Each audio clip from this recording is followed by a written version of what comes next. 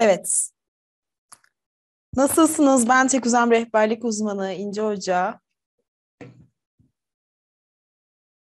Şu an bir görüntüde bir problem yok galiba.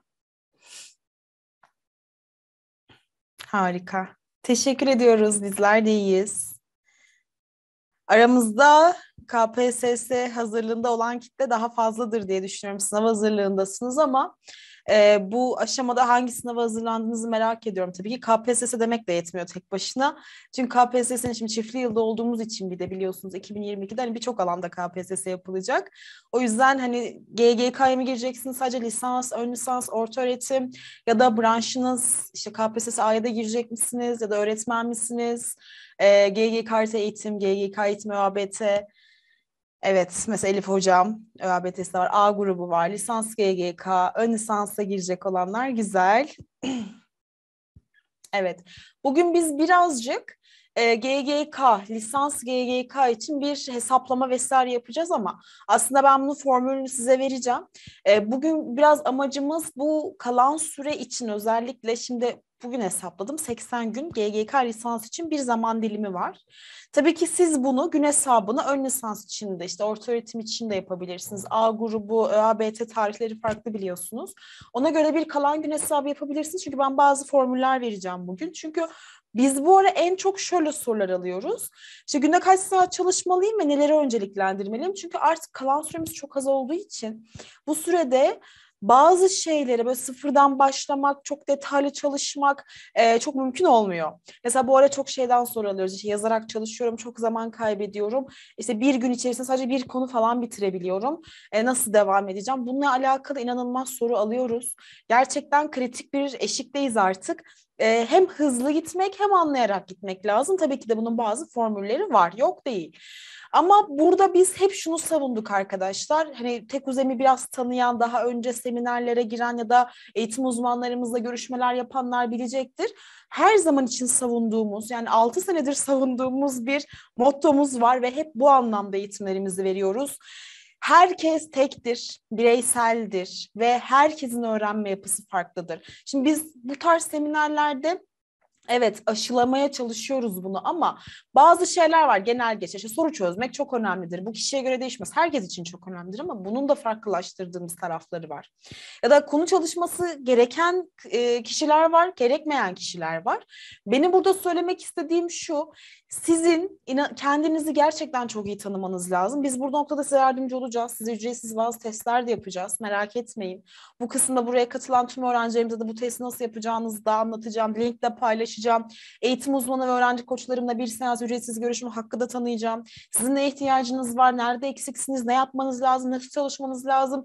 Biz de nasıl destek olabiliriz? Bizde ihtiyaç duyacağımız şeyler neler? Onları da anlatmalarını sağlayacağım. Ama burada kesinlikle şu noktada anlaşalım. Her herkesin çalışma şekli e, farklı ve herkesin çalıştığı gibi siz çalışamazsınız. Bunu bilmeniz lazım. Kesinlikle şunu söylemek istiyorum. Dediğim gibi 6 senedir biz bu sektördeyiz. Ben de 6 senedir burada daimi hizmet veriyorum ve şuna çok kez şahit oldum. Her sene şahit oldum atananlar, kazananlar, gerçekten hatta derece yapanlar bile arkadaşlar son günleri, son ayları çok iyi değerlendirenler oldu. İnanın bana. Şu örnekleri de çok gördüm. İşte bir sene önce, bir buçuk sene önce çalışmaya başlayıp da son üç ayı, iki ayı bırakmış, devam edememiş, motivasyonunu kaybetmiş ya da rehavete kapılmış kişilerin son aylarda yüksek performans gösterememesinden kaynaklı beklediğinden çok az puanlar aldığına da üzülerek şahit oldum. Çünkü şöyle bir sınav bu. Uzun vadeli bir sınav, uzun vadeli bir e, hazırlık gerektiriyor evet. Ama son aylarda da hani başlarda böyle minimal başlayanlar ya da tam başlayamayanlar ya da hiç başlayamayanlar sonlarda öyle bir hata geçtiğinde çokça kişinin önüne geçebiliyor. Hatta ben bunu maraton koşusuna benzetiyorum. Şöyle düşünün. Hani herkes bir şekilde yarışa başlıyor. Birileri önde başlıyor. Bayağı bir metre önde götürüyorlar. Son bir metreye geldiğimizde o geridekiler bir depar atıyor Çünkü enerjilerini saklı tuttular. Enerjilerinin tamamını kullanmadılar. Son bir metrede enerjinin tamamını kullanıyor ve diğerleri artık yoruldu. Çünkü yüksek enerjiyle başlamıştı. Hala son bir metre enerjisi gücü kalmıyor. Arkadakiler çok rahat öne geçiyor. Böyle olimpiyatlarda falan izlerken çok şaşırıyordum. Hepimiz izlemişizdir. Yani o kadar geriden gelip nasıl öne geçti? KPSS gibi bu tarz yarışma sınavlarının tamamı buna benziyor. Neden biliyor musunuz? Bir kere çok iyi başlasak bile ister istemez çünkü bu psikolojik de bir sınav aynı zamanda. İnsanız, yorulacağız, bunalacağız, sıkılacağız, enerjimiz bitecek. Aynı zamanda bir de psikolojik olarak şöyle bir şeyde kapılacağız arkadaşlar. Ee, kesinlikle ama kesinlikle hani artık tamamım hissiyatına kapılıyoruz. Düşünsenize 8-9 aydır sınava hazırlanıyorsunuz. 6-7 aydır ya da sınava hazırlanıyorsunuz. Çok sıkı başladınız. Çok iyi gittiniz. Artık herhalde tamam gibi ister istemez bir özbenlik duygusuyla bir rehavete kapılıyoruz. Sonrasında asıl hani hızlanmamız gereken, asıl enerjimizi göstermemiz gereken yerde birazcık da böyle havaların ısınması etkiliyor, baharın gelmesi de etkiliyor, birçok şey etkiliyor ve yavaşlıyoruz. Bu yüzden benim bu noktadaki inanın en büyük uyarım bu olacak size. Ne zaman başlarsanız başlayın, yarışı önde bitirmek istiyorsanız lütfen ama lütfen doğru adımlarla ve gerçekçi adımlarla başlayın. Bu çok önemli. Şimdi gerçekçi olalım. Gerçekçi dedim bakın dikkat edin, ed, edin. Bu ne demek biliyor musunuz? Şimdi bir öğrencinin şu anda 880 saat falan ders çalışması mümkün değil sınava. 1000 saat ders çalışması toplamda diyorum. Tabii ki günlük öyle bir şey diyemem mümkün değil. Bir gün 24 saat zaten. ama şöyle şeyler mümkündür günde çalışabileceğim toplam ders süresini arttırarak örneğin günde şimdiye kadar 5 saat çalışıyordum ya da kendime 5 saat bir plan kurmuşum. Bunu biraz daha gücümü 6 saat arttırabilirim. Mesela bu gerçekçi bir plandır. Ya da şimdi toplamda şöyle bir hesap yapalım. Diyelim ki ben GGK eğitim ÖABT hazırlanıyorum. GGK'da A'ya hazırlanıyorum. Fark etmez ya da sadece GGK'ya gireceğim. Toplamda konuları hesapladınız. Konuların bir öğrenme süresi var. Yani girip bir e, siteden bile bakabilirsiniz. İşte video ders sürelerinden bile bakabilirsiniz. Bizim için de bizim hesapladığımız formüller de var bununla alakalı. Her bir dersin toplamının bir öğrenme süresi var. Atıyorum tarihin toplam öğrenme süresi işte 100 saattir diyelim. Yani 100 saatte bütün konular bitiyor. Bu şimdi kişiye göre de değişiyor. Şimdi benim tarihim hiç yoksa belki o videoları iki, ikişer kez izlemek e, zorundayım. Bu 200 saate çıkıyor. Ee, hadi birazcık daha yavaş çalışan bir insanım, yavaş öğrenen bir insanım bir tık daha. Durdurarak not alıyorum. Bu sefer benim bir videoyu, bir saatlik videoyu üç saatte izliyorum. Bu sefer 300 saate çıkıyor vesaire. Şimdi bu çok gerçekçi olmuyor. Düşünsenize beş ders var her birine 300 saat çalışsam 1500 falan mı yapıyor? Yanlış hesaplamayalım. Yani inanılmaz derecede bir vakit kaybı ve öyle bir vaktim zaten yok. Ama şöyle bir şey de var. ÖSYM zaten sizin hepsini yapmanızı istemiyor ki. Nerede gördük çevremizde diyorum ya ben hani burada açıldığından beri buradayım daha full çıkaran falan görmedim KPSS'de.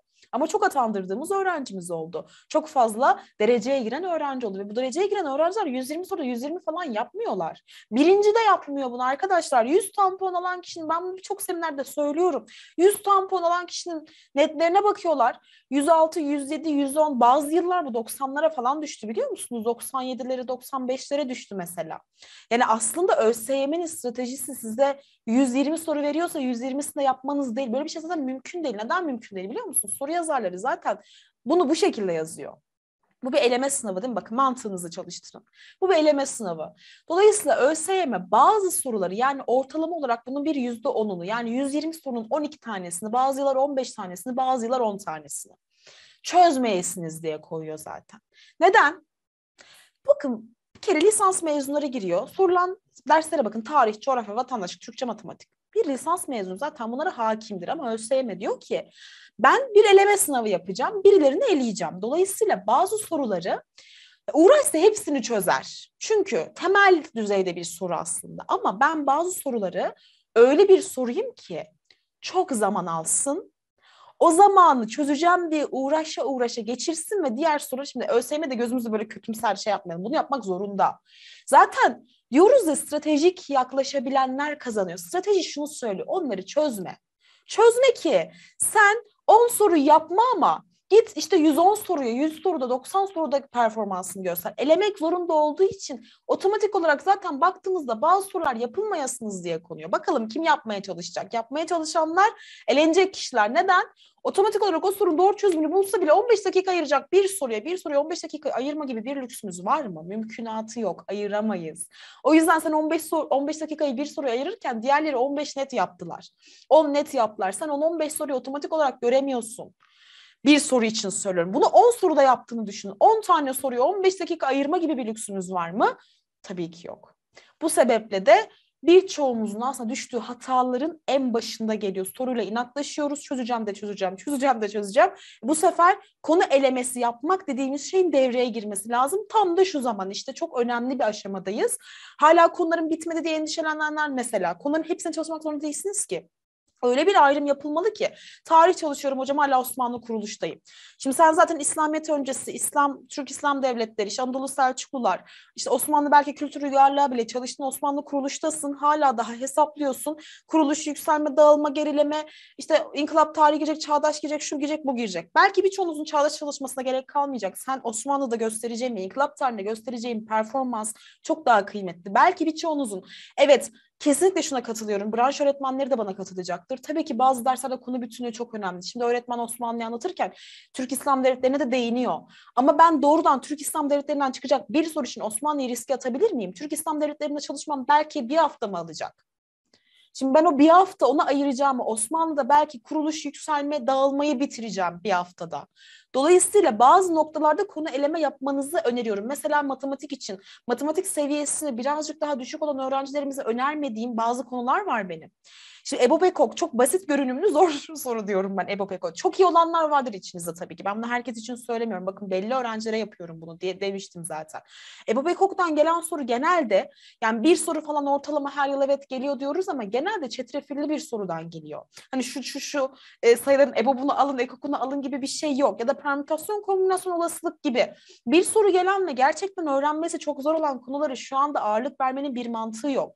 Problemler için şunu söyleyebilirim arkadaşlar problemler önemli. Ama problemleri kendi içerisinde eleyebilirsiniz.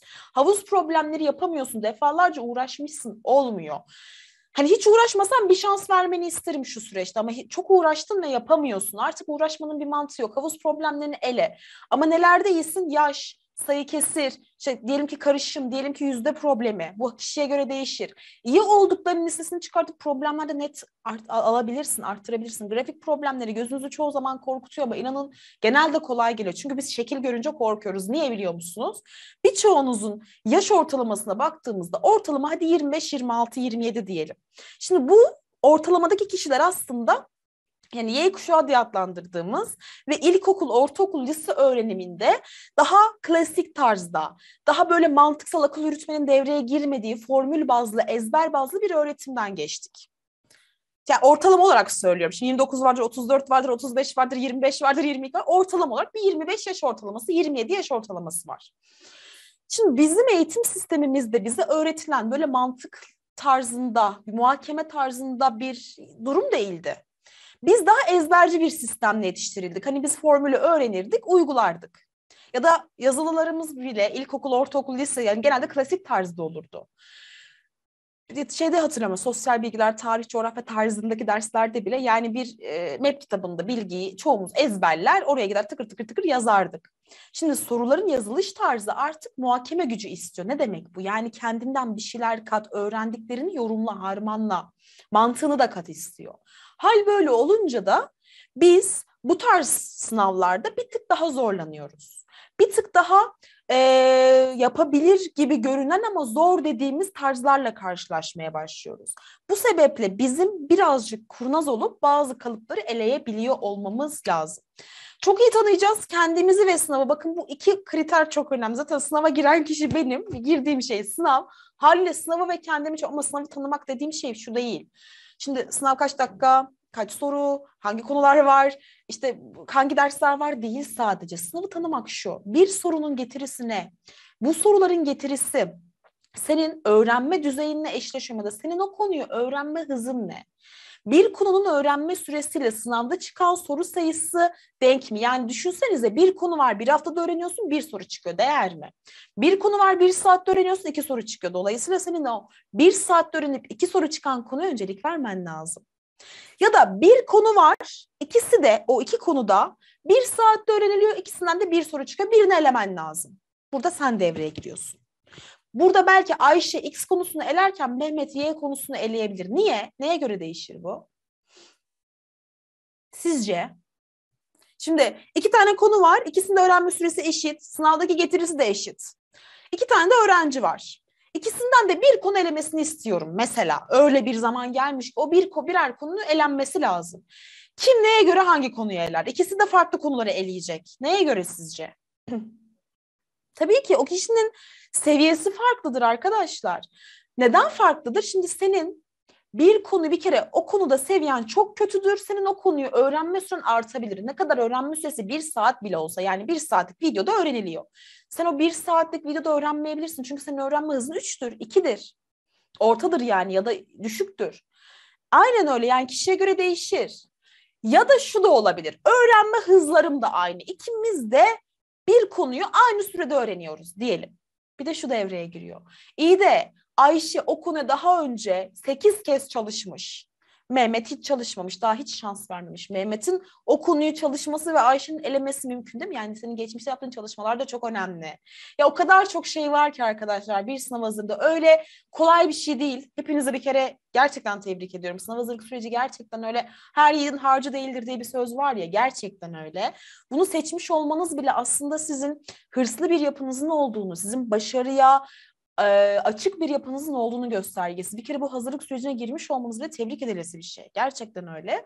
Ve bu kadar çok detayı düşünmeniz zaten imkansız. Siz bir öğrencisiniz. Siz bu sınav hazırlanma gayesinde olan, bu düşünceye girmiş olan bireylersiniz. Kesinlikle çok sanattır. E, biz de sanatçılarız o zaman. Size bunu öğretmeye çalışan sanatçılar olma yolunda devam ediyoruz. Çünkü bu kısımda yani buna cidden kafa yormak lazım. Şimdi siz sınava mı hazırlanacaksınız, bunlara mı kafa yoracaksınız? Yani ben bunlara kafa yorarak bunları size anlatmakla yükümlüyüm mesela. Ya da bunları öğrencilerimize uygulatmakla, programlarını onlara göre hazırlamakla, onlara bunu aşılatmakla ve doğru yöntemi göstermekle. Şimdi bunun için ayrı bir meslek var zaten. Biz niye varız o zaman?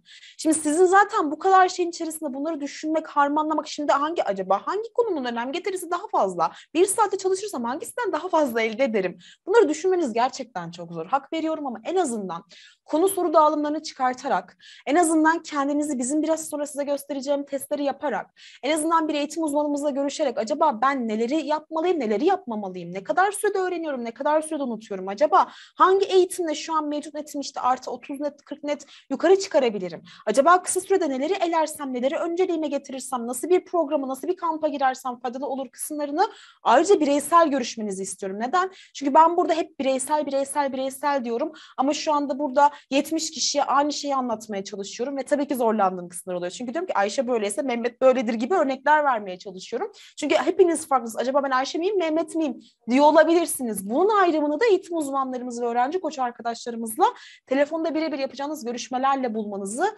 özellikle istiyorum. Bu seminerlerin de en büyük kazanımı sizler için, en büyük getirisi bence onlarla yapacağınız görüşmeye buradan randevu oluşturmanız da olacak. Ama bu yapıyı bilin kesinlikle ve kesinlikle bilin arkadaşlar. İnanın her şey çalışmanıza gerek yok. İnanın sınavda bunu istemiyor zaten. Soru yazarları da bunu istemiyor. Ya bir tane soru gördüm.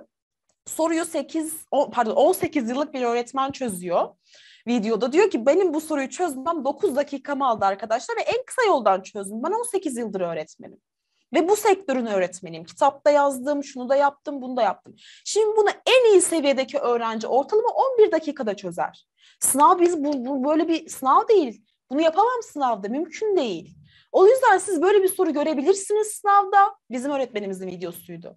Ama lütfen boş bırakın. Bakın göreceksiniz. Çünkü hani garantisini veremeyiz hiçbir zaman sınavda ne çıkacağını ama çıkma ihtimali yüksek. Hani öngörüyorum çünkü yıllardır da şu formatlarda önümüze geliyor. Ama lütfen gördüğünüzde boş bırakını da öğretiyoruz size. Çünkü sen orada gidip aa bu yapılabilir düşüncesiyle çünkü çoğunlukla da böyle bize çağrışımda bulunan tarzda sorular bunlar ama çözüm yolu çok uzun. Dolayısıyla bunu boş bırakmayı da öğrenmemiz gerekiyor. Öğrenme stili dedi biraz önce birisi. Gözüme takıldı. Öğrenme stili nedir biliyor musunuz? Önce onu sorayım. Öğrenme stili ne? Bir yandan da sorulara bakayım. Onları cevaplandıracağım. Sadece şu akışı bozmak istemedim. Sorularınızı unutmuyorum. Tekrar geri döneceğim arkadaşlar. Henüz başlamadım ön lisansın. Fatma lütfen hemen başla ve lütfen acaba yapamayacak mıyım, başlayamadım ama olmayacak mı düşüncesine kapılma. Hala lisansa bile yeniden başlayan öğrencilerim var. Geçen sene bu zamanlarda sizinle başladım. Evet tanıyorum seni İslim İpek. Hala çalışıyorum. Oğlum biraz büyüdü. Allah bağışladı. Sorumluluklar arttı ister istemez. Bazen yorulduğumu hissediyorum. Artık gelse de girsem ama hala eksilerim olduğunu hissediyorum. Şu cümle o kadar önemli ki bak hala eksiğim olduğunu hissediyorum ama sınava da heyecanlıyım. Yani sınav günü gelse de girsem sınava diyorum. Demek ki ciddi bir özgüvenimiz de var. Bu güzel. Hala matematikle boğuş, boğuşuyorum. Geçen deneme çözdüm. Üç soru çözebildim. Hiç sıkıntı değil. Sıfır kere üç yapmak bile çok büyük bir başarı. Bakın ben hep şunu söylerim. Bir denemeyle bir deneme arasında bir net mi arttırdınız? Alkışlayın kendinize. O bir net arttırmak öyle kolay bir şey değil çünkü. Ya düşünsenize bir soru çıkan bir konuyu üç hafta çalışıyoruz arkadaşlar. Bir net arttırabilmek için öyle kolay bir şey değil. Yani sıfır kere üç yapmak bile çok büyük bir başarı ki hala ön lisans için zaman var. Aynen görsel, işitsel, kinestetik, öğrenme stili üç tiptir arkadaşlar. Ve herkesin farklıdır ve doğuştan gelir. Kimimiz görerek öğreniriz. Bakın şöyle bir okul yıllarınızı falan düşünün. Kesinlikle doğuştan gelen ve yıllarca hep aynı şekilde devam eden bir yöntem. Kimimiz dinleyerek öğrenir, kimimiz dokunarak, temas kurarak öğrenir, uygulama yaparak öğrenir. Şimdi şöyle düşünün, bazı öğretmenleri anlatışını çok seviyorduk, bazı öğretmenlerin anlatışını sevmiyorduk. Neye göre seviyoruz, sevmiyoruz? Bize hitap edip etmemesine göre. Şimdi arkadaşımız öğretmeni çok severken biz belki ders anlatışını çok beğenmiyorduk. Neden? Hoca sürekli anlatarak çalışıyor. Arkadaşım işitsel, dinleyerek çok iyi öğreniyor. Ben görselim, görmek istiyorum, çizsin istiyorum, yazsın istiyorum, şekiller göstersin istiyorum. Bu size söyleyeceğim analiz testi var ya eğitim analizi. Onda zaten bunu da ölçüyoruz. Görsel mi, işitsel misin, dokunsal mısın diye. Bu çok önemli. Ee, şöyle düşünün. Ben şu anda burada konuşuyorum. Bazı arkadaşlar görmek istiyor. Slide'dan takip ediyor ben anlatırken mesela. Bazıları e, doğrudan ben anlatırken bunu zihninde hayal kuruyor. E, belki bir, bazıları not alıyor. Bazıları öyle bir odaklanmış sadece dinliyor. Dinleyerek o kadar iyi anlıyor ki. Bu bile bu seminerdeki yakla, yaptığınız yaklaşımlar, sergilediğiniz sunumlar bile sizin öğrenme stilinizi gösterir aslında. Şimdi mesela eğitim analizinizin linkini verdi size arkadaşım. Bu linki bir kopyalayın ya da şu an tıklayın sekmede dursun. Seminer bitince çözmenizi nasıl çözeceğinizi göstereceğim. Burada bile öğrenme stilini ölçüyoruz. Bir kere öğrenme stili sizi hızlandırır. Yani öğrenme stiline göre ders çalışmak sizi hızlandırır. Çünkü aldığım bu ara en yoğun soru. Hocam ben yazarak çalışıyorum. Yetişmeyecek ne yapacağım? Acil bana yardım lazım. Bir, sen yazarak çalışmalı mısın gerçekten? Yani senin öğrenme stilin senin yazarak çalışmalı mı diyorsun? Ama hocam ben öyle çalışarak anlıyorum. Belki de bu sana sadece e, öğretilmiş bir sistem. Yani e, gerçekten de sen bunu aslında daha faydalı olduğu için değil, böyle yapman gerektiğini öğrendiğin için, öğrenilmiş çaresizlik. Hani böyle yapmalıyım demek ki. Herkes yazarak çalışıyor. Hayır, eğer sen yazarak çalışarak anlıyorsan yazarak çalışmak zaman kaybı değil. Çünkü yazarak çalışmanın belli metotları var. Öyle her şey yazmayacaksın. Yazarak çalışmak dediğim şey gördüğüm yazayım, gördüğüm yazayım değil. Kısaltmalar kullanmak, kendi cümlelerinden notlar almak, hızlı yazmak ve yazarken kendi içinden tekrar etmek gibi teknikleri var ya da yazarak çalışmanın. Video izlemek, görseller genelde bunu tercih eder. Görseller için faydalıdır ama görsel değilsem ya da işitsel değilsem, dokunsalsam sadece video izlemek de faydalı değil. Ben dokunsal öğrencilerime video izlerken hani bir kitaptan bir not, not, özet not defterinden vesaire takip etmesini ve gerektiği yerlerin altını çizmesini, şekil çizmesini, gerekirse ufak yana notlar almasını öneriyorum. Dokunsal çünkü dokunması lazım bir şeye. Ee, dediğim gibi işitsel bazen de video izlerken durdurup kendi bir daha anlatır. Bu da yavaşlatmaz çünkü bu işitsel genelde onu zaten çarpı iki hızla falan izliyordur. Dinleyerek her şeyi çok iyi öğrenir ve dinlenmesi, dinlemesi çok iyi olduğu için yutmaz o kelimeleri falan. Hoca söylerken anlamamazlık yapmaz. O sebeple arkadaşlar herkesin yöntemi farklı. Bir kere bu yöntemi kesinlikle geç bile keşfetmiş olabilirsiniz. Hiç problem değil. Bu yöntemle çalışın. Her şeyi yazmayın. Bir kere yazarak çalışmak dediğim şeyde inanılmaz bir hata yapıyorsunuz. Şu an bir slide ya mesela. Bu slide'ı gördüğünüz gibi yazıyorsunuz. Orada zihin halay çekiyor. Orada zihin çünkü çalışmıyor. Boşluk bulmuş hayallere dalıyor, e, rüyalara dalıyor. İşte akşama ne yesem acaba, yarın ne giysem acaba, bir sürü şey düşünüyor. Çünkü zihni boş bıraktın sen orada. Sadece görme ve yazma eylemin çalışıyor. Görüyorsun yazı, kopyala yapıştır, kopyala yapıştır mantığı gibi. Ama sen gördüğün şeyi Bir daha bakmadan aklında kalanları kendi cümlelerine yaratıcı imgelemelerle, çağrışımlarla, örneklerle ya da gördüğünü kısaltmalar kullanarak yazı zihnini boş bırakmıyorsun. Zihin orada bir şey üretmeye çalışınca kaydediyor bir yandan. Bir yandan da kayıt işlemi gerçekleşiyor. O yüzden arkadaşlar yöntemi seçerken de doğru uygulamak çok önemli. Hayır öyle bir şey yok. Yazmaktan çok okumak iyi, okumaktan çok dinlemek iyi, dinlemekten çok anlatmak. Böyle bir şey yok. Bu size göre değişir. Eğer ki siz görselseniz yazmak da okumak da faydalı ya da video izlemek de faydalı. Dediğim gibi burada önemli olan şey sizin e, öğrenme stiliniz arkadaşlar. Eğer ki sizin Fatma konu çalışmasından ziyade denemeye ihtiyacınız varsa burada bir seviye ölçümü yapmam lazım. Şimdi ben bunu böyle ezbere söyleyemem. Mümkün değil yanlış olur. Şimdi eğer ki sen konularda zaten bir altyapıya sahipsen ve ortalama ileri düzey dediğin bir düzeye sahipsen yani şu an bir denemeye girsen en az 80 puan alabilecek bir seviyedeysen evet denemelerle devam etmeni öneririm. Ama senin konu eksiğin varsa, tekrar eksiğin varsa, soru çözme pratikleriniz gelişmediyse, ortalama başlangıç ya da orta seviyelerdeysen bazı konulara çalışman gerekir ki ön hala daha zaman var.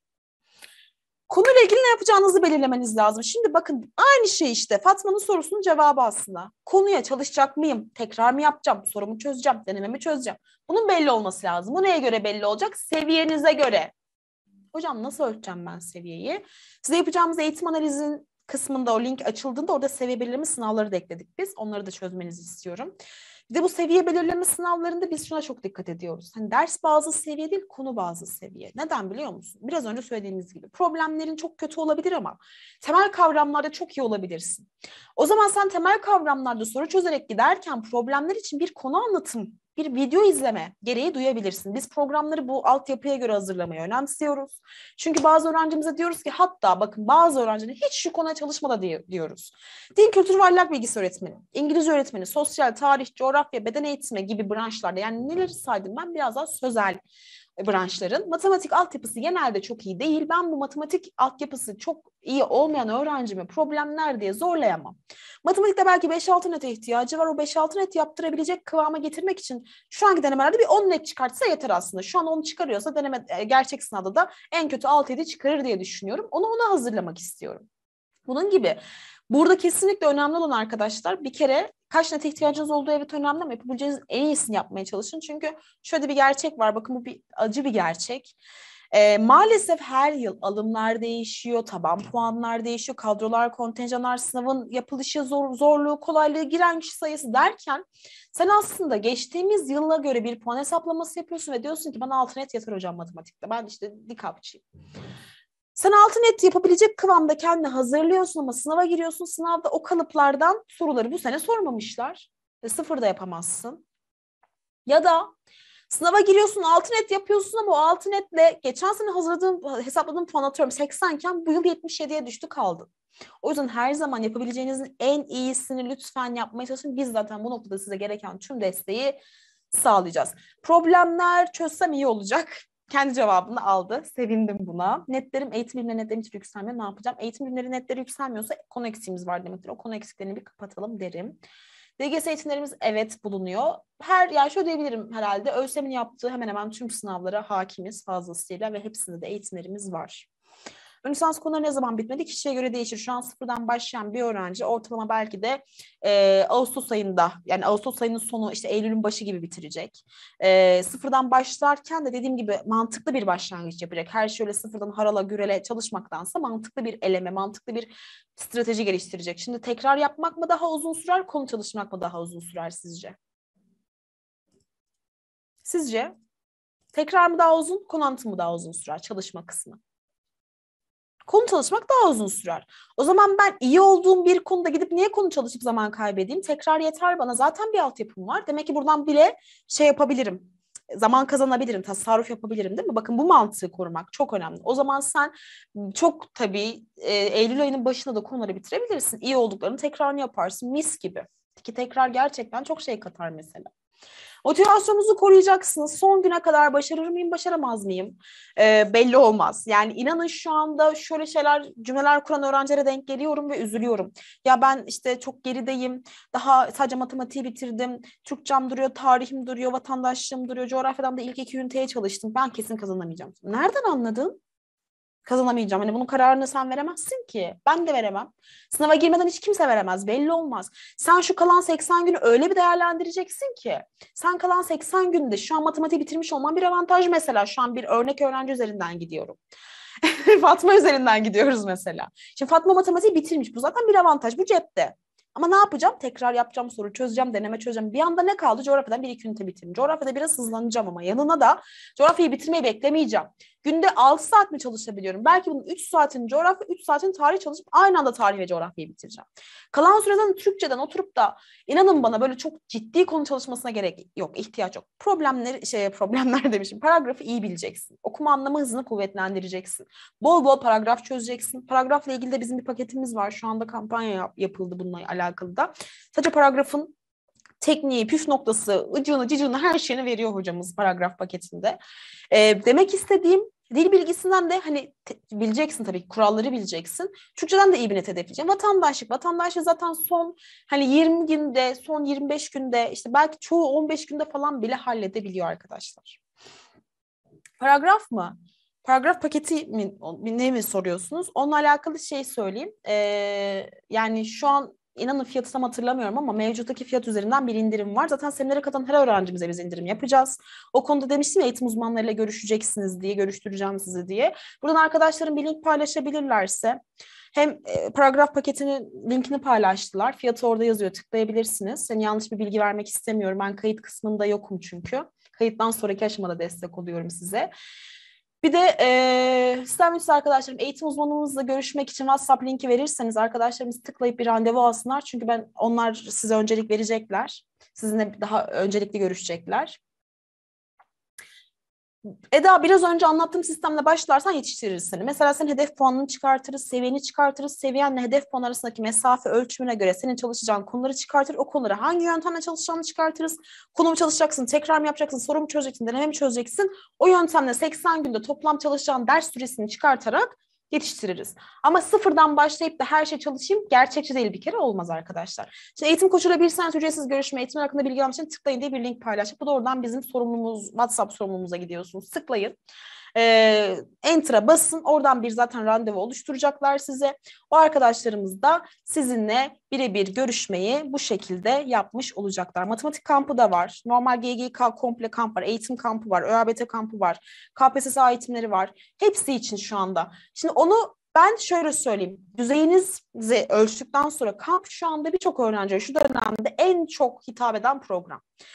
Ama her şeyim tam hocam. Türkçem çok iyi, tarihim çok, vatandaşım, coğrafyam çok, matematiği bir tür hallediyorum. Matematik kampı o zaman öneririm. Hocam matematiğim ya olmuyor, paragrafım bir türlü olmuyor, diğerleri mi? Matematik ve paragraf kampını öneririm. Ya bu size göre değişiyor.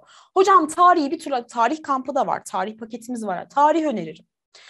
Ee, hocam hala birkaç eksiğim var benim. Ee, yani kamp programı diyorsunuz ama yani sıfırdan başlayacağım ben hız grubumuz var. Hız grubunu öneririm mesela. Hız grubu. Haftanın her gün dersler var. Yoğun bir program. Her şeyi veriyoruz. Yine ihtiyacınızın olduğu kadarıyla. Size özel yine çalışma programı tabii ki yapıyoruz. Bu şekilde de hız grubu öneririm. Yani program çok fazla. Neden bu kadar fazla programımız var? Başta anlattığım sistem. Yani kişi özel eğitim. Kişi özel model. Bu sebeple çok program var. Kimin neye ihtiyacı varsa Böyle bir program almak istiyoruz. Bunu da öğrenci koçlarımız çok güzel bir şekilde size anlatacak. Size bazı analizler yapacak. Bazı sorular soracak. Size ölçümleri yaptıktan sonra o sorulara doğru cevabı verin ki size desin ki sizin kampa ihtiyacınız var. Sizin hız grubuna ihtiyacınız var. Sizin matematik kampına ihtiyacınız var şeklinde de bilgi versin. O yüzden biraz önce zaten paylaştılar linki ben tekrar paylaşıyorum. Lütfen görüşün. Hani en kötü öğrenci koçuyla bir seans görüşme yaparsınız, sorularınızı sorarsınız, bir rahatlarsınız. Nasıl ki bu seminerde e, sağ olun her zaman söylüyorsunuz, motive oldum, evet doğruyu gördüm, öğrendim şeklinde. Eğitim koçlarından da çok şey öğreneceksiniz. Gerçekten bir noktada sorularınıza cevap alabileceğiniz çok güzel bir görüşme yapmış olacaksınız arkadaşlar böylelikle. Matematik kampı başladı mı? canlı olarak başladı diyebiliyorum ama zaten endişelenmeyin. Biz başlamış olanların videosunu size izletip kaldığımız yerden devam ediyoruz. Şimdi ben e, seminerimiz bitmeden bir şey daha yapmak istiyorum. Lisans GGK'ya hazırlanan öğrenciler için hazırladım ama ön lisans orta öğretimde bunu nasıl yapacağınızı anlatacağım. Şimdi günde kaç saat çalışmalıyım diye soru geliyor ya ben bu günde kaç saat çalışmalıyımı bir formülünü hesapladım ve kişiye göre değişiyor. Hep kişiye göre diyorum fark ettiyseniz. Sizle de bir hesap yapmak istiyorum. Kağıt kalem yanınızda varsa olan arkadaşlar bir alsınlar bakalım siz günde kaç saat çalışmalısınız. Bir bunun hesabını yapalım, yapalım ve öyle bitirelim. Tüm derslerin kamplarını önerir miyim? Evet, tüm derslerde ortalama bir seviyeye ulaşamadıysak hala, tüm derslerde bir sıkıntımız varsa tüm derslerin kamp programını tabii ki öneririm. Ama dediğim gibi hepsi çok iyi ama matematiğim çok kötü o zaman matematik kampı öneririm diyebilirim size. Şimdi arkadaşlar biz seviyeye göre çalışma türleri belirliyoruz. Bizim programlarımızda, eğitimlerimizde, modelimizde bu şekilde işliyoruz. Ve seviyeye göre sizin günde çalışan toplam ders saati bile değişkenlik gösteriyor. Hani diyorsunuz ya günde 8 saat çalışsam yeter mi? Belki 6 saat çalışman gerekiyor. Hani 8 saat belki senin için çok fazla. Ya da günde 3 saat çalışıyorum hocam yeter mi? Belki senin 5 saat çalışman lazım. Bunu da sizin seviyenize göre bir hesaplama formülüyle anlatmak istiyorum. Gerçekten çok önemli. E, çünkü Hani toplam çalışacağım saat aslında ben bunu neye göre hesapladım biliyor musunuz? Bir konu biraz önce anlattım ya öğrenme süresi var demiştim. Öğrenme sürelerine göre hesaplıyorum. Yani tarih için toplamda 100 saat yetiyor mesela ama temel seviyede 200 saat çalışması gerekiyor gibi. Bu şekilde bir formül, bu kişiye özel bir formül ve gerçek e, sonuçlara sonuçlar çıkıyor. Yani toplam tarihin öğrenme süresine göre hesaplanıyor ve bu seviyeye göre ayrışıyor. Şimdi sizden isteğim arkadaşlar şöyle bir boş tabloyu bir kağıda çizmeniz hızlıca. 25-25 kuralıyla 10 saat çalışabilirsiniz. Nasıl oluyor? Onu anlamadım. Bu herkes için geçerlidir. Ben kişiye özel yapacağım şimdi. Bu genel geçerlidir muhtemelen. Bu tarz şeyler var ama hani gerçekten bize uygun mu onu bilmemiz lazım.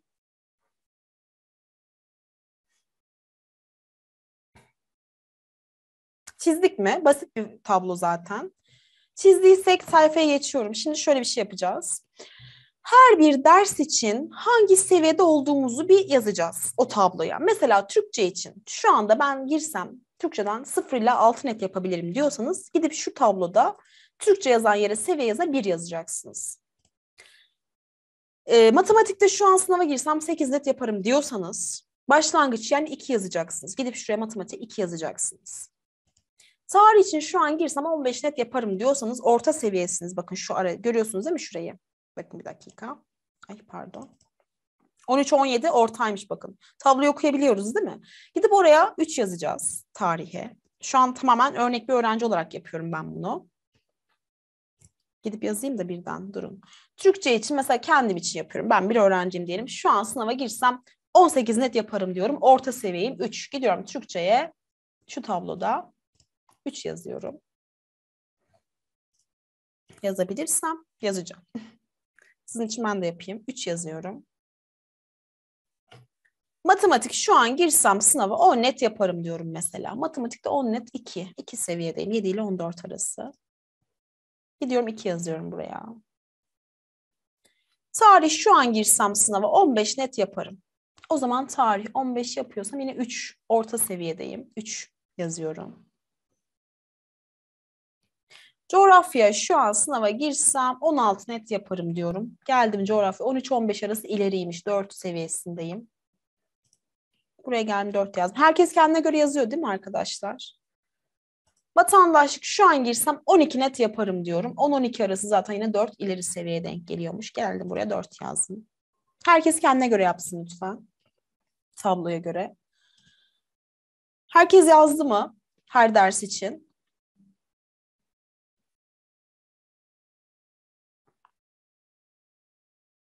İkinci tablo dursun. Tamam. İkinci tabloyu ellemiyorum şu an.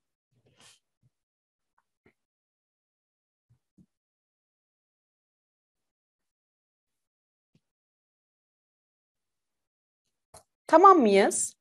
Tamamsak geçelim. Tamam, geçiyorum.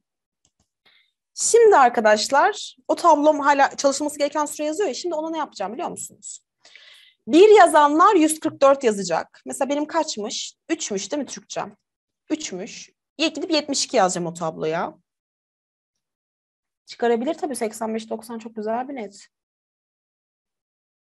Denemelerden sonra yapsanız isabetli olur. Yani bir deneme çözüp bir denemeden sonra yapıp günde çalışacağınız ders saatini bulabilirsiniz. Hepsini yaparsanız sürekli ders saati değişir, saçma olabilir. Ama şu anki seviyenize göre bir denemeyle bunu ölçebilirsiniz.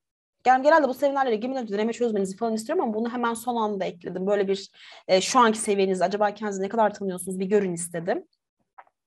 Ben gidip şuraya 72 yazacağım. Şimdi geldim matematiğe. Herkes şu tabloya baksın da ben bir gidip geliyorum. Başınız dönecek biraz. Kendim de yazmaya çalışıyorum bir yandan. Benim matematiğim neydi? 2 idi değil mi? Tamam açtım tabloyu. Ben gidip oraya 242 yazacağım. Yazayım bir yandan. Tam yazacağım hocam değiştiriyorsunuz diye düşündüğünüzü düşünüyorum şu anda. Tarihim neydi? Ortaydı galiba. 120 yazacağım ben gidip oraya. Gidiyorum bakın. Evet 120. Coğrafyam 4. Coğrafyam 4, 45 yazacağım. Vatandaş mı 4'tü galiba? 45-45 yazacağım tabloya. Siz yazdınız mı? Gidip ben de yazayım mı? Gidiyorum. 45-45 tamam. Şimdi burayı toplamanızı istiyorum arkadaşlar. A'yı bulacağız tamam mı? Hep beraber. Herkesin A'sı farklı olacak. Herkesin A'sı kendine göre. Bakalım. Buradaki örnek öğrencimiz için kaç çıkacak? Gerçekçi olsun ama olur mu arkadaşlar? Verdiğiniz seviyeler yani.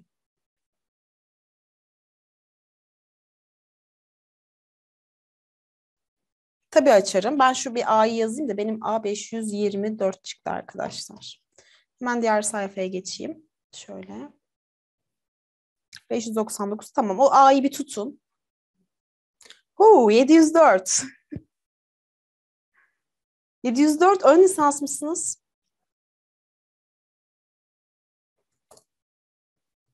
Tamam. O zaman sıkıntı yok. Lisansta bir tık sıkıntı olabilirdi.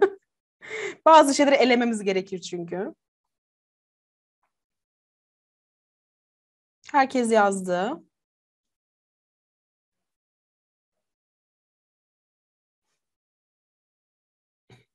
Ön lisans tamam. Ön lisans olanlar çünkü farklı bir şey yapacaklar. Hemen onu söyleyeceğim size.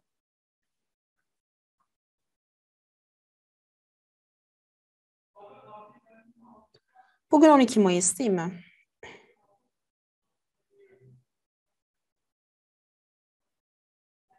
2 Ekim.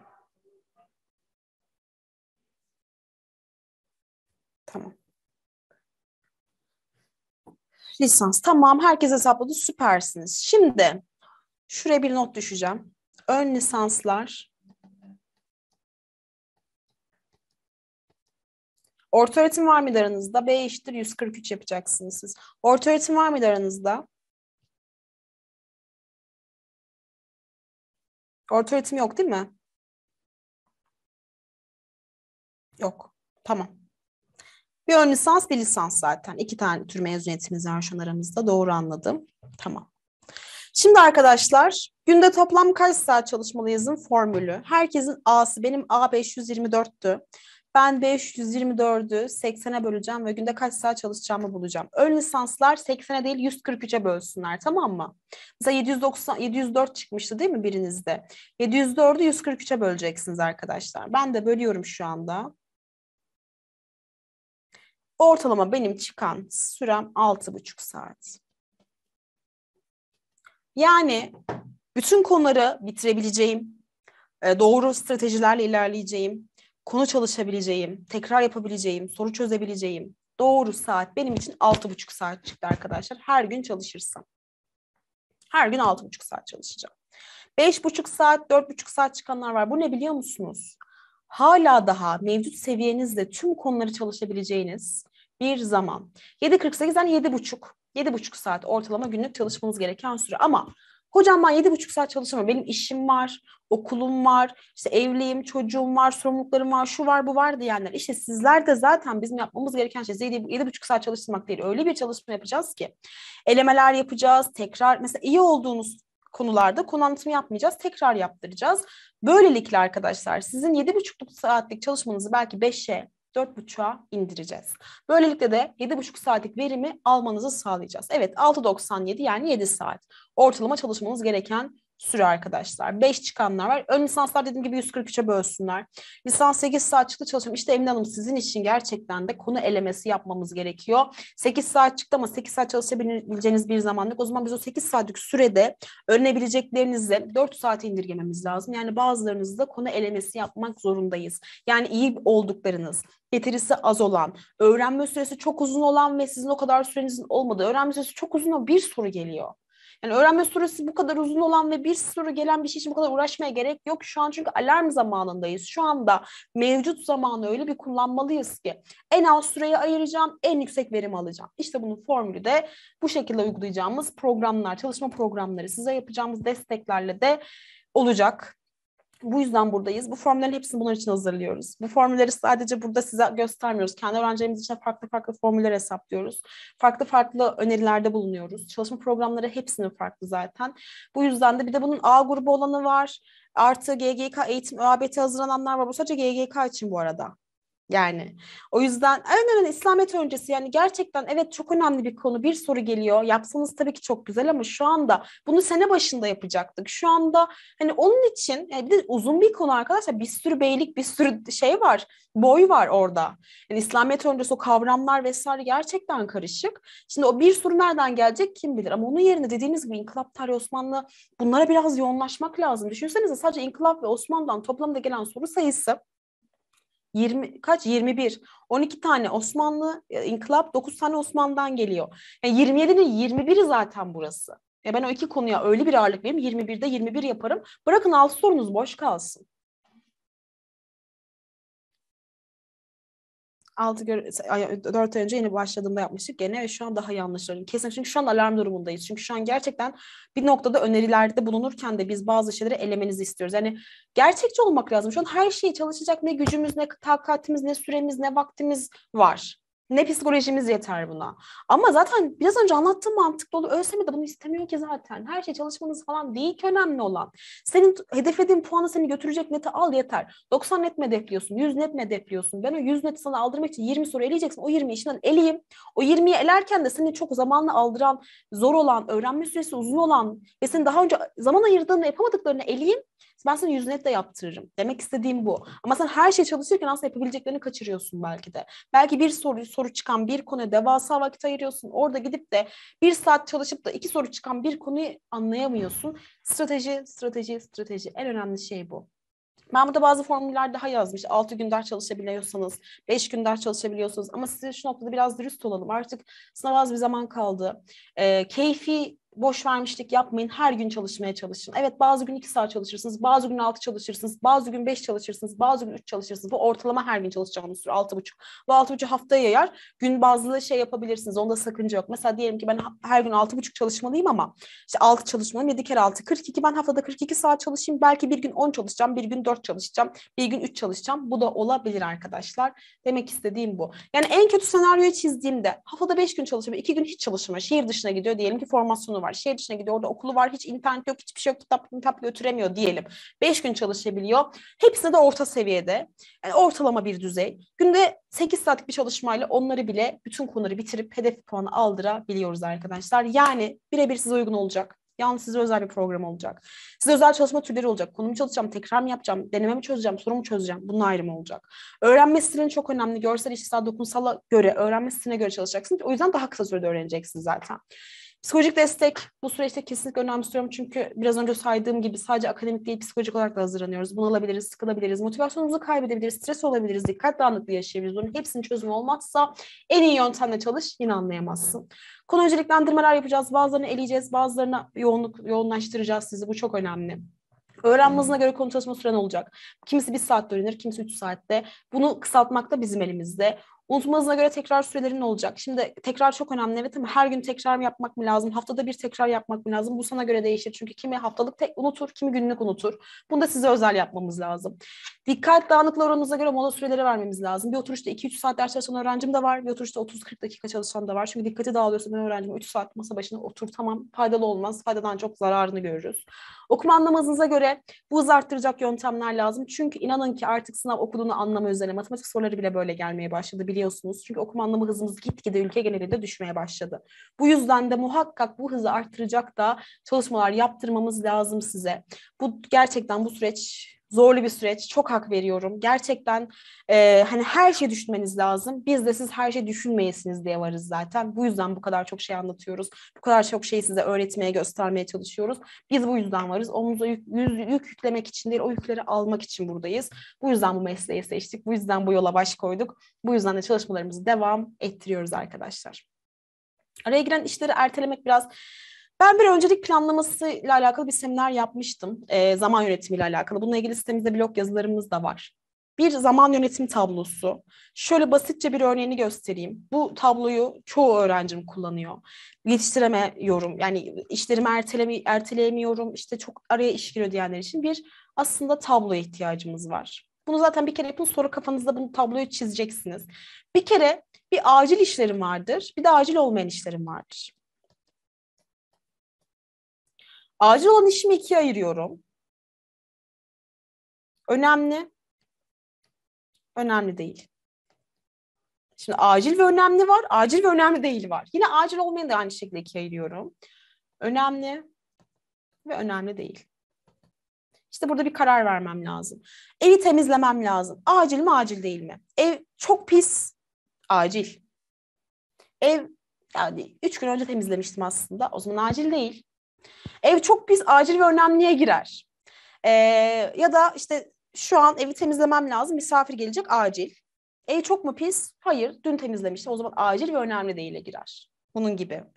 Ders çalışacağım. Şu anda 50 soru çözmem lazım. Acil mi, acil değil mi? Şimdi sen matı düşünsene. Tarihten bir konu bitirmişsin ve bitirdiğin için hemen hızlı çözmen lazım. Acil.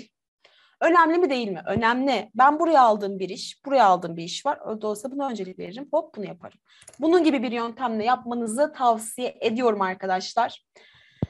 Formları tekrarlayabilir misiniz? Maalesef süremi doldurdum. Mesaimi de doldurmama 5 dakika kaldı ama hiç üzülmeyin. Bunu söyledim diye siz bu formüllerden tabii ki ayrı kalmayacaksınız. Sizi mağdur etmeyeceğiz. Bunun tekrarını YouTube kanalımıza ekleyeceğiz. Ee, YouTube kanalımıza eklendiği gibi izleyebileceksiniz. Bir de YouTube kanalına eklenmeyi beklemenizi de çok istemiyorum. Bu formüllerin hepsini ben eğitim uzmanları ve öğrenci koç arkadaşlarımızla da paylaştım zaten. Onlarla yapacağınız birebir görüşmede onlar da size özel bir formül hesaplaması günde kaç saat çalışacağınızı söyleyecekler. Ben burada link paylaştım arkadaşlar. Bu linke tıklayarak da e, arkadaşlarımızla görüşme yapmanızı kesinlikle öneriyorum. Hem programlar hakkında bilgi alırsınız. Saydığım birçok program var arkadaşlar. O programlar hangisi size uygun, hangisi değil Tabii ki tekrar yapabilirsiniz. E, bununla alakalı da yine öğrenci koç arkadaşlarımız size ayrı bir hesap açsınlar. Farklı bir mail adresi oluştursunlar. O şekilde tekrardan testleri çözme imkanınız var. Evet kontrol dahilinde kontrol dışı var bir de hocam. Şimdi kontrol dahilinde biraz bizim elimizde. Yani bizim zamanımızı ancak biz yönetebiliriz bunu unutmayın. Yani birileri gelip bizim zamanımızı çalamazlar müsaade etmezsek. Bir öğrencim şey dedi hocam tam ders çalışacağım sürekli odama biri giriyor çıkıyor biri gidiyor. Yani kapı kitle en kötü ihtimal. Ne bir yazı az. İşte kulaklık tak öyle çalış. Kapını bir yazı olsun. İşte şu an ders çalışıyorum şu saate kadar girmeyiniz. Yani bunun yöntemlerini geliştirmek çok fazla ama birazcık ne kadar uğraştığımızla alakalı. Bazen bahanelerin arkasına ister istemez sığınıyoruz. Bakın ben size burada bahane üretiyorsunuz demiyorum. Yanlış anlaşılmamasın. İnsan psikolojisinde olan bir şeydir bu. Bazen sevmediğimiz bir işi yapmaktan kaçmak için zihnimiz bahane uydurur. Ay benim dikkatim dağılıyor. Ay karnım acıktı. Ay şunları bir temizlesem mi acaba derken bir bakıyoruz kendimizi bahar temizliğinde falan bulmuşuz. Bir bakıyoruz ki yemek yiyeyim bir atıştırırken börek açıyoruz falan. Bunlar biraz zihnimizin kaçış yolları. Aman esir olmayın. Zihnimize ancak biz komut verebiliriz. O bize komut veremez. Bizim verdiğimiz komut yüzünden bunu yapıyor zaten. Çalışmak istemiyoruz biz. Açık açık. Lütfen ders çalışmayı sevin. Onunla barışın. Çünkü o size bir çare, o size bir derman olacak. Siz neden sınav hazırlanmak istiyorsunuz? Bunu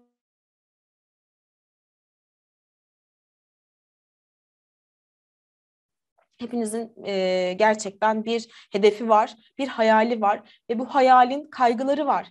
Yani haliyle siz bunu aslında bir şeyleri kurtarabilmek, hayatınızı, geleceğinizi, ailenizi, kendinizi, umutlarınızı birçok şey aslında çare bulacak. Hani KPSS ile savaşmayın o yüzden. Sevin onu. Çünkü o size çok güzel kapılar açacak. Ben öyle düşünüyorum. Öyle olsun diliyorum. Öyle hissediyorum. Sizleri çok seviyorum. Kendinize çok iyi bakın. Tekrar görüşeceğiz inşallah. Yine başka seminerlerde de bir aradayız. Haftada iki tane daha seminerim var. Bizi takip etmeye devam edin arkadaşlar. Nasıl takip edeceğinizi biliyorsunuzdur diye düşünüyorum. Sosyal medyadan da takip edin. Tek Uzam Instagram sayfamızdan da yapacağımız her seminerleri zaten gösteriyoruz. E, kayıtlı bir öğrencim yazmış. Lütfen bana mail atın. Oradan size birebir yardımcı olayım. Kayıtlı öğrencilerle özel ilgileniyoruz zaten biliyorsunuz. Sizinle birebir bir görüşme sağlayayım. Rehberlik.tekuzam.com'dan kayıtlı öğrencim vardı. Bana mail atabilir. Görüşmek dileğiyle. Nerede bulabilirim? Seminer tekrarı YouTube kanalımıza eklenecek. YouTube kanalımıza muhtemelen yarın sabah eklenir. Ee, ama seminer slaytını almak isterseniz seminer slaytını da eğitim uzmanlarım size verecekler. Eğitim uzmanımızla görüşen arkadaşlar bu linkten tıklasınlar. Seminer slaytını da onlar size mailden gönderirler. Ben de sizleri çok seviyorum. Harikasınız. İyi ki varsınız. Tüm konu yetiştirme A grubu. Baştan sona yetişmese bile konu elemesi yapıp size ne kadar net ihtiyacınız varsa onu çıkartacağız. İktisatın net ortalaması 7-8 mesela. Niye iktisatta 40'da 40 yapmaya çalışalım ki? Mantıklı değil bir kere. Bu sene tek uzamla kazandım demeyi çok istiyorum. İnşallah tek uzamla kazananların videolarını ekliyoruz YouTube kanalına bu arada. Onu da izleyebilirsiniz. Instagram'da da, Instagram'dan da paylaştık. Onlar da size motive olur bence. Nasıl kazandılar bir anlattılar. Siz de izleyin motivasyonunuz artsın. Onlar yaptıysa biz de yapabiliriz deyin. Benim ondan ne eksiğim var deyin. Biraz daha gaza basın derim. Çünkü birileri yaptıysa siz de yapabilirsiniz. Görüşmek üzere. Hepinize iyi akşamlar diliyorum. Gönülden başarılar diliyorum. Tekrar görüşürüz inşallah. Hoşçakalın. İyi akşamlar.